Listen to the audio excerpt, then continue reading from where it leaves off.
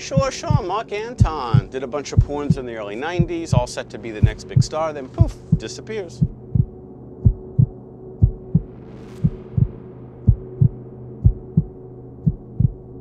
What do you know about Mark Anton?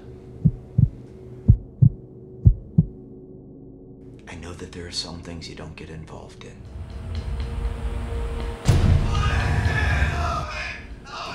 You like to watch. Yes. I like to watch.